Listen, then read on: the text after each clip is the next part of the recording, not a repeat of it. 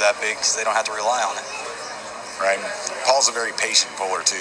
That's the interesting thing is he doesn't go for that immediate blast hit. He will catch and figure out where your weakness is and pull you out of your strength. Well, it showed there because whenever you get locked in tight with a guy like Brian Sitton and you calmly pull him over like that, it, it shows shows your strength because he, he didn't even budge. He just calmly pulled him outside of his bicep, then.